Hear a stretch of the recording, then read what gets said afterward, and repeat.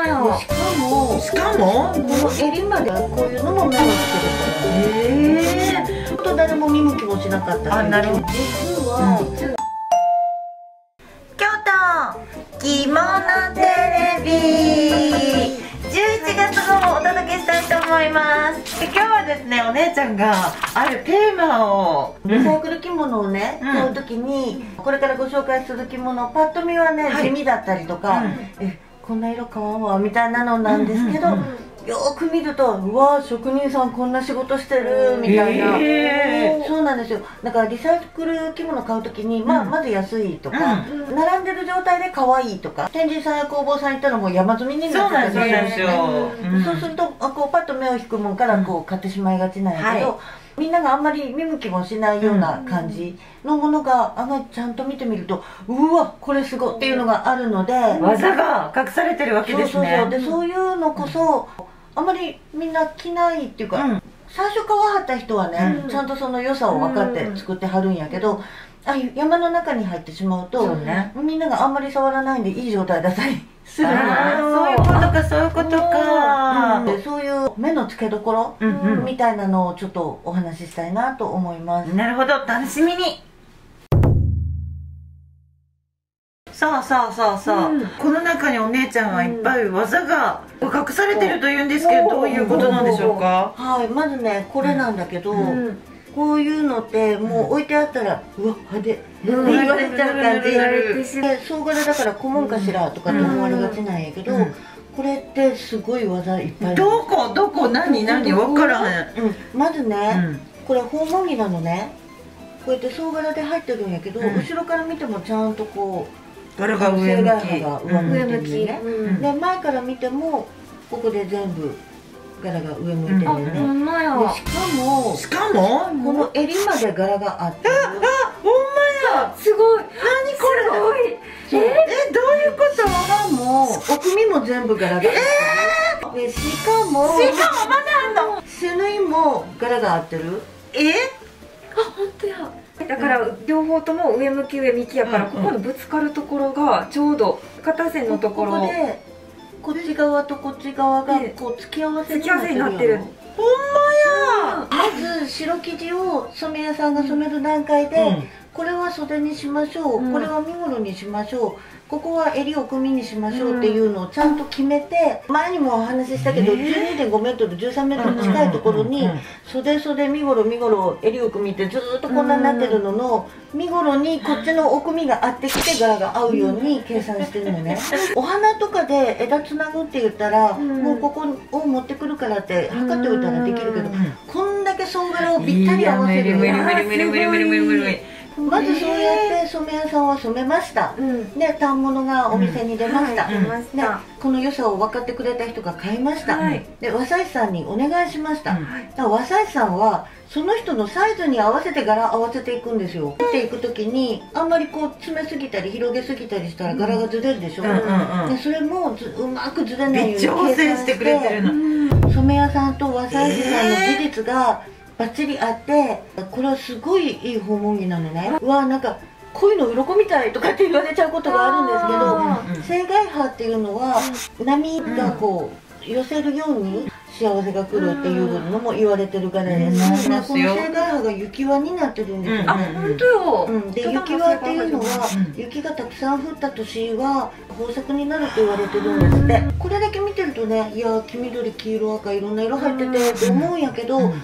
遠目から見るとすごく落ち着いた色合いあわかりまちょっとパステルな感じ。言われてみればゴールドのようにも見えるしそういうのにはどんな帯合わせたらいいんだろう。小麦なので20代以降がベストなんですけど、総柄顧問のような感じで、ん。西陣織の幅帯なんかもあるのであいいのいいのちょっとこう垂らすような感じでね、着たりしても素敵、うん。柄合わせとか、うん。染め屋さんがこんなんしてんねんな和裁師さんここまでして塗ったんやなっていうのが分かってるとこうパッと見た時えこれはっていうようなやばいうん。そうそうちょっと他の人とは違う目線でうん。これはっていうこう王手ができるわけですね、いろんな人の技術がこの中に入ってると思うと買う時のさ、うん。なんかテンションの上がり方も違うと思う。そう、うんそれと同じのがこういう感じです。これはさすがに柄地味やし、うん。これは取らんぞ。と思われがちなんやけど。何がこの中に隠され人柄ではないんやけどね、これも実は下代わり風なんやけど、前を見ると上前がね、うんこっちの無地の方にかかってくるので、4分の3は島になるんですよ。うん背中片っぽだけが無地になるんで、うん。案外島の着物なのね、うんなん。かちょっと生き系なんやけど、うん。これのすごいところは、何襟ってこの身ごろに対して斜めについてるでしょ、うんうん。なのに柄はまっすぐ、ということどういうはこと？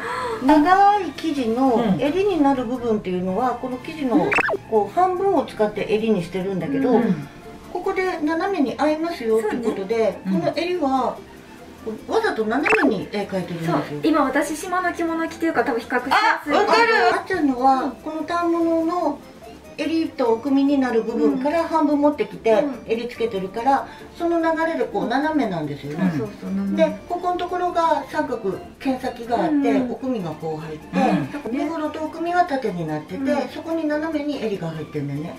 だけどこちらは？身ごろもまっすぐなんやけど、うん。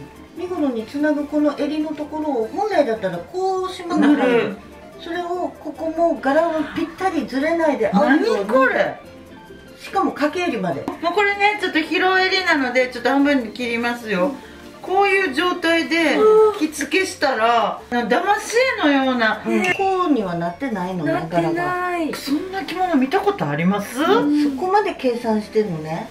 そんなこと。しかもまだあんの、襟って長い襟の上に掛け襟かけてるじゃないですか、あれ？でこれねこっちの右後ろが無地だから、うん襟も無地に合わせてるんですよ、うんうん。だけどここでついでるんじゃなくて、でつながってる。つながってんのこれ、ないねな染めてい。ここでせここが中心になりますよって言って染めてんねんね。うん。しかもまだある、さっき斜めに切ったこの筋がこ筋こでカーブしてうん。カーブして？後ろの柄こっちのと左身ごろっていうのは、本当はここ袖付けがあって、うん。このまままっすぐこうつながってて、うん。ここにあの繰り越しのね、うん。空きがあるうん。だけなんだけど、そこにこの襟が来ることを計算してここの柄もここの柄も前から見ても後ろから見てもこの筋がぴったり合うように描いてるの。しかもねこの柄ランダムな柄なんですよ。そうそうそう。うん。いろんな色で点々点々そうみたいな点々点っていう単なる追っかけでもないし、う島柄なんだけど、ん全部この脇のところはこの黒白の細い島になってっていうような計算を全部して作ってあるの。反物状態で見たらこうなるの分からないと思う。絶対わからないですようん。ねでその染め屋さんのうん。計算し尽くした技術と、うん。和裁師さんうん。の柄をぴったし合わせる技術がうん。一緒になって、さっきの着物みたいにね、うん一つの着物が出来上がってる、だからこういうのも目をつけてくるのへえさあのっけからちょっと高度なのが続きましたけど、まだありますか？次はね顧問の感じで。うんめっちょっと可愛い感じですよ。うん新潟ですね、うん。これも、うん。実は実は？柄が全部上向いてるんですええー、こんな量あんのに。だから前から見たらでもうん。顧問ですよこうねお家とかね、うお花とかね、うん。ちゃんと全部上向いてるでしょ？上向いてますね。背中も袖もちゃんと全部上向いてる、うん。だからこれも付け下げなんです、ねさっきのほどこう背中の柄がぴったりやってるとかじゃないんですけど、うんただ可愛い一つ一つ見たらめっちゃ可愛い柄がねみんな上向いてるんですよ、うん。ぱっと見は顧問柄も可愛いし、うん。あの待ち着的な顧問に見えるけど、うん。実はちょっと目上の方がいる席でも20代詰めてでもあいける大丈夫だ大丈夫なのそだっか。えーかわいいこんなん着て。たそうだよ。同じパターン繰り返されてるんやけど、うんちょっとずつ色変えてんだよね。ほんまや。めっちゃもったいないことにすごい焼けちゃってるんですよね、あこれね保管が悪かったんです。ねそうか。型とだか激安だったんですけど、ええもうかまへん、かわいい可愛いが許す。うん。この帯をねするんです私。かわいい田舎の風景の中でこの子供が遊んでるみたいうんうん。なあーなるほストどーリーが。うんでこれひげのつづれの帯でうん。でそこにでんでん太鼓とか持った子供がうん。ワンコに吠えられて走って逃げてるというこれ刺繍なんです。えー、刺繍うん。すごい刺繍。そう。でこれね八掛けもピンクついてるから、あこのまま見ると本「え子供っぽいんちゃう?」とかうん「柄可愛いし」とか言われちゃうんですけどこういう帯持ってくると結構渋めに。渋い、うん。なんかこの街の中を子供が走ってるようなね。確かに。イメージステアリーができるね、うねわ。これだとね色がこう溶け込む感じのグレー同士なので、おもちゃ柄の帯なんです。おお白いからちょっと明るい感じになって、ねちょっとこう銀紙みたいなの入ってキラキラはしてるけど柄が割とポップというか可愛らしい感じやから合いますね。まの刺繍やね、うん。これ名古屋帯なんだけど白なので、うん。ちょっと落ち着いた感じになるし、うんまずはねこう柄がどういう風についてるかっていうのも目の付けどころだと思う、ほん。まにで上向きチェあとはこの柄に合わせてストーリーを考えていく着物ってもう浴衣から留め袖訪問着まで形は一緒なのね、うん。だからもうこれを1枚のキャンバスと考えて、うん。で何を持ってきて大きな絵にしていくかっていうストーリーを考えてコーディネートしていくとすごくいい感じになっていくなんかので。一枚の動く絵画みたいになってんね、うんうんうん。帯探す時もうちにあるこの着物あの着物って考えて、うん。あこれ持ってきたら絵が完成するなとか、うん同じでかわいい。パッと見こう。なんかチューリップみたいやろ。いやパッと見はウールっぽくてお家でカジュアルに着てみたい。系みたいな感じなんだけど、うん。何？これも実はお花が全部上向いてこういうのこそねシャレ袋を閉めてね。本当に本当に。こう知識の片隅にうん。あったら、あもしかしてって開いたら、うん。肩と袖山見たら大体わかるから、ここですよここですようん。見つけどころこっち向きにこっち向きになってたらこれは英語です。普通の顧問だとうん。向きがどどここは逆になっちゃうわけじゃないえっですか、と上前がこう上向いてたら、うん。肩のところで逆転して、うん。後ろ姿は下向きになる、って。そういう場合はこうこっちが上向きで今度こっち側の左側が後ろ向きでしょ、なんか今度はこっち側を上向きにして、でこう逆転して下向きになるのが下前に入るのよ、あそういうことか。うん、そうすると後ろから見たら下向きと上向きうん。こうなるんだ。の折柄合わせになるんやけど、前に来たらほぼこっちがうん。何々から上向きになるっていうそういう感じで仕立てるけど。ね見つけるコツとしては後ろ身頃を見るっていうことですね、いやまだまだありますよ。はいさあ次々いきますけれども。ピンクなんでネットオークションで買ったんですけど、うん。まずねこういうピンク色とかっていうと、うん。ポチする人いないんですね、これも引き染めぼかしなんです、んつけ下げなので、この肩のところでまず柄があってて、うん。裾の方に行くとこうやってぼかし柄が上前が一番たくさん入ってて、うん後ろに行ってスーッとこう斜めに、うん。引き染めのぼかしが入ってるんですけどね,、ねあのすごいシンプルやし、う地色はピンクとはいえこっちの方がグレーなので、うん。結構合わせやすいんですよ、年配になってくるとねあんまり暗い色くすんだ色着ると顔色がくすんで見えちゃうんやけど、ね、こういうピンクとかで畳んでる状態で「いやピンクはあ赤は」とかっていう人が多いんですけど、実は顔写りがいいのね、つけ下げなので、襟にもねここの掛け襟のところにあうっすら。ぼかしが入ってるうん優しいぼかしが入ってますね、うん。だからしっかりした虹に織りのね帯うん。合わせてもちろんいいんですけど、うん。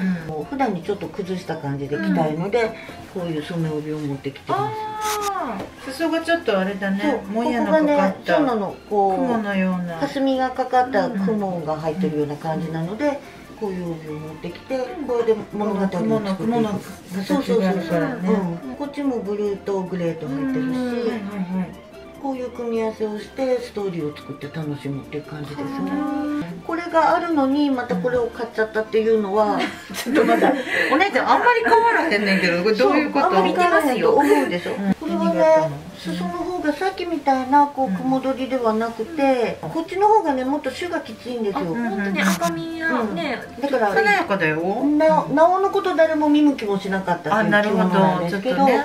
実は、実はこっちの方は八掛けがこういう、うんうん、額縁のうんグラあのデーションねよくあるついねてるんですけど、何？これ友八掛けなんですよね、中も。こっちまでこうぼかしになってる、へー表地と同じように。わちょっとここここれはね、うん。これは作る時にね余分にね、あの同じ布をそうそうそう。はっかけ用にだから作るの。はっかけのないのは三畳物って言って、うんはっかけまで友生地なのは四畳物って言うんだけど。長いのね、そうそうそう。で同じ生地で同じようにこうぼかしをかけてうん。でそうするとこうお茶席とかあのお座敷ってうん。座った時にねこのはっかけの裏側ってちらっと見える見える。そこがポイント。もう畳んでおいててあピンクとかってうん。思ってたら実はこんな技が隠れてたりするのでうん。侮れないです。侮れない。見えないこっちの方まで全部引き止めてぼかしかかってて。だいぶ年配の女性の方でもいけます多ね分うん。いけますうんいけるね、うん帯がちょっと渋くすれば、若かったらね白でもいけるし、うん。いやこれはちょっと長年着たい色ではありますね。ねこれ着てたらかっこいいですよ。ほんまにこれまだなんかそう隠れてるの。そうなんですよ。これも見どころ満載で。ちょっとこれはさすがに地味でしょこれねまあ。実は江戸小紋なんですね。うで細かい小桜柄なんですよ。江戸小紋っていうのは遠目から見たら無地っぽいっていうのがいいところなんやけど、そうですね。それだけじゃないんです。何よこれ。実はこれははっかけが別染めはっかけでであれ？しかも額縁になってるのね。薄いグリーンになってるんですよ。この部分見えないじゃない見えない。ですか見えかない。け見えるとこってここのねそうここのそうそう。で。座ったりとかこうね歩いてる時ピラってなるのって本当ここのこっちだもん。この部分で。どこにもそれしとんねん。これあの四畳物じゃなくて、うん。表地とはっかけ地って手触り違うでしょ。はっかけ地だけこの柄に合わせて別染めしてるの、はっかけなのでうん。裾回りだけじゃなくて袖口裏うんうん。も同本じ当だうん、ここが無地で、うん。奥の方が柄になってるのね。家電とかも売ってるようなリサイクルショップ、うん。で買ったの？の片隅にぶら下がってたのね。だからお店の人はほとんどいや地味な着物うん。みたいな感じだと思うのね、うん。実はこんなだったんですそれお姉ちゃんは釣ってあるとこからおいおいおいおいってなってたんですか？うん。柄はね細かい本当小桜なので、さっきのこの先おもちゃのこの帯とか合わせるとすごい可愛い感じになるし、うんなんか普段使いするんだったらこういうのがいいですよね、でこれもねあの同じ茶色系なので、これ作り帯なんですよ。金彩でね書いてあるんですけど、これとこれだったら秋の雰囲気になって、この感じもいいんですけど、私的にはこっちとの組み合わせが好きなんやけど栗と？そうはっかけの色がねちょうど、あうんいい感じなのね。本当だ。でこれって総絞りなんですよ横に点々点々入ってる。こうってずーっとしてかもねしかもね5ミリじゃなくて4ミリ幅ぐらい。これ針の跡。ちゃんと手に絞った証拠ですね。誰がしてくれたん？こんなこキュとと詰めて。うわーってしたのでこうこんなになったやつを染めて、うんであと糸を解くと、うん。木目みたいになってるのね。なってるなってるなってる、うん。だからちょっとなんていうのそう木目みたいなところにこの栗の帯。なるほど。なこの体感がうん。木の幹みたいなイメージでそうそうそうがなってるっていう感じですね、うん。そうそうそうだから私的にはこっちの組み合あわせがあなる好きです。ほど。こういうのもパッと置いてるとなんか地味柄だけ見ちゃうと、うん。ちょっとみんな触ってみよう。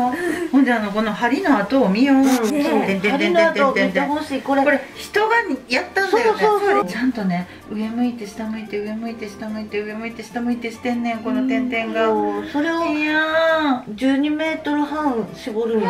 相当お高いんでしょ？きっとね。こういうのがリサイクルのところに埋もれてるという、目の付けどころねリサイクルの着物を買うときに、こう安かったパッと見可愛かったで飽きちゃった。じゃあつまらないので、うん。こういう掘り出し物を見つけるとうわこんな仕事してあったんだってめっちゃ愛着が湧くので、うん。長く着てもらいたいなと思いますね。手かけてあるものはその長く着れるようにって作られてるんですよ、やしその分お値段がねちそうそれはあるね前の人が高い値段で買ってくれたのが巡り巡って見つかったわけだし、うん。今度は私が可愛がってあげるよっていう感じで使うといいと思います、うん今日もゆうこちゃんこれでなんかストーリーを、あそうなんですよ。これ実はねすごいあの、まあ、言っても伝統的な柄でね、うん。朝柄なんですけど、そうですねちょっと触るとね硬くてしっかりしてるんで頼れる感じです、この帯もすごくないですか、ねかわい。いね。この帯と髪飾りをちょっとこうちょっとお揃いにしてるわけそうねそうなんですよ。あ今日あっちゃんもこれ自慢が詰まってるんですよ。これ買った時にあ男着着たいなって思って、うんうんうん男着を着ようと思うとついたけが一番いいんですそうですよ。余るところがないし。だからついたけぴったりのを探し出して、でまあ雪とかはまあ下にこうやって違うもの着てるので、はい。なんとかちょっとごまかして相手のついたけを買うと。いうおばあちゃんのやつだと。孫がこうやってねついたけで来る日が来るというのね。いいですねそいいでねこうちゃんとね巡り巡ってるというかうん。お姉ちゃんがいつも推奨している捨てるところはないぞというねうん着物のいいところが現れてるかなと思いますが